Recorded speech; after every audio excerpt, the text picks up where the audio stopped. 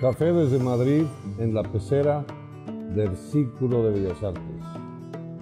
Efectivamente, a finales del siglo XIX se estableció este templo en la confluencia ahora de la calle de Alcalá y Gran Vía, porque Gran Vía aún no existía.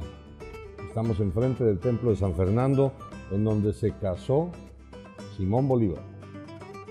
Y sí, enfrente de la Real Academia de las Bellas Artes.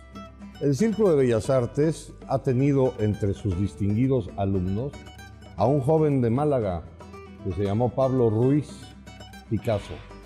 Aquí tomó cursos de pintura antes de despegar y conquistar el mundo en París.